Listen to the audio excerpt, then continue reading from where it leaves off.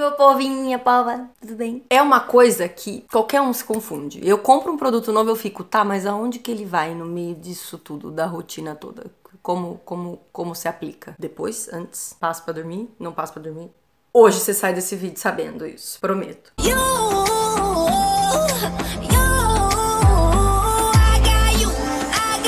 Ordem dos produtos é uma coisa um tanto complexa, seja para o corpo ou para o rosto. Vai depender muito da consistência desse produto. Você precisa ter uma pele limpa para começar a aplicar seus produtos, seja no rosto ou no corpo pele limpinha para começar a cuidar da pele. Ficou estranho isso. Para começar seu, seus cuidados de pele, na pele.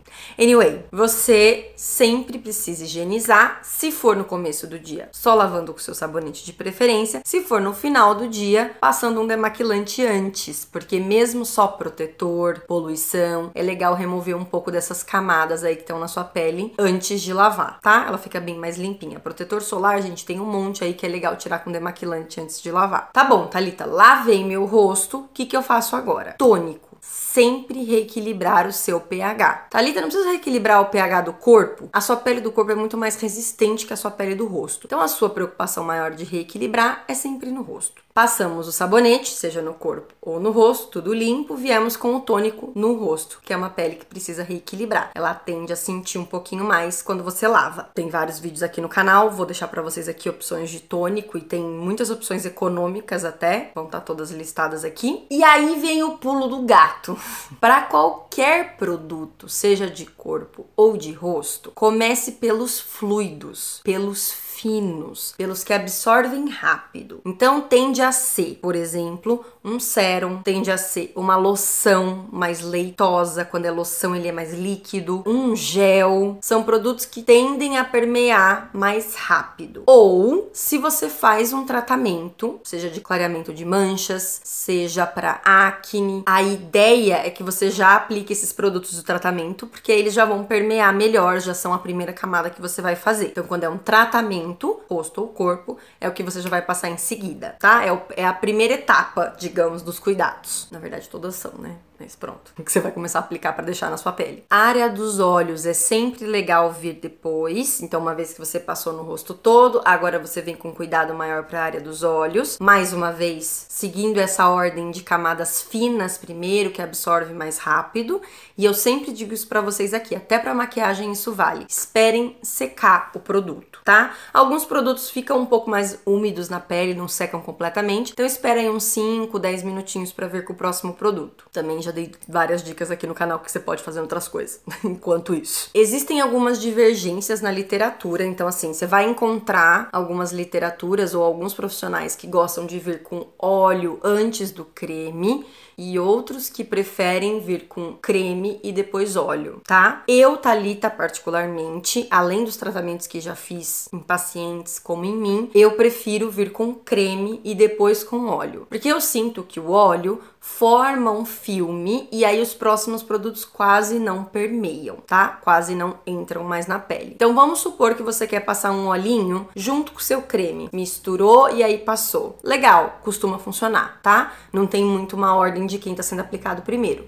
Agora, quando é separado, tá ali, eu quero passar um creme e um óleo, ou um óleo e um creme. Eu recomendo você passar o creme e depois o óleo, tá? Eu, Talita, acho que funciona melhor, porque o óleo tende a não secar completamente, ele fica ali uma camadinha por cima e aí acaba que a permeação fica um pouco menor do creme que vem depois. Então, vamos lá, bem fluido, sérum, gel, leitoso, para depois o hidratante ou o óleo ou os dois juntos, tá? Ou o hidratante e o óleo. E o último, nosso protetor querido. Lembrando, gente, que o Brasil, como é um país tropical, ele tende a não, não diria que não é legal. que foi isso? Eu não diria que não é interessante, mas eu não acho muito confortável fazer muitas camadas na pele, seja no corpo ou no rosto. A gente transpira mais, algumas regiões tendem a ser mais úmidas, então eu acho que fica um pouco desconfortável camadas demais. Por isso, os cremes que são fora do Brasil, normalmente nos países mais frios, aqui eu vejo muito na Áustria, as pessoas usam muitas camadas de produtos. Mas por quê? Porque aqui resseca mais rápido, então o clima geralmente é bem seco e você fica mais seco. Então a sensação é muito mais agradável se você colocar várias camadas. É mais desagradável quando tem poucas camadas, tá?